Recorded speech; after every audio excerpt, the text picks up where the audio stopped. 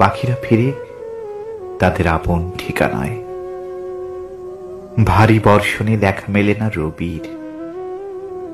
ধরনীর বুকে নামে অঝোর বৃষ্টি ঠিক তখনই আসমানিদের কুড়ে ঘরে নেমে আসে অশনি সংকেত।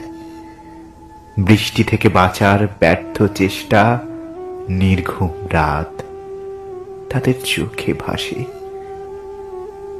পেট ভরে হয়তো তারা খেতে পায় না। বুকের কখানা হার সাক্ষী দিচ্ছে সেই অনাহারের।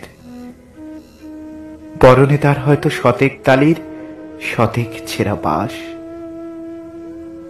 মনে হয় শ্রাবণের সব বৃষ্টি তাদের চোখে।